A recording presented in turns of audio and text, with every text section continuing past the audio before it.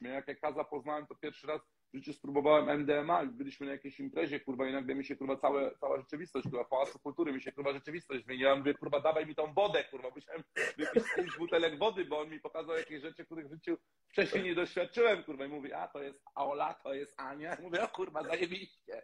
Wiesz, także, że były też zajebiste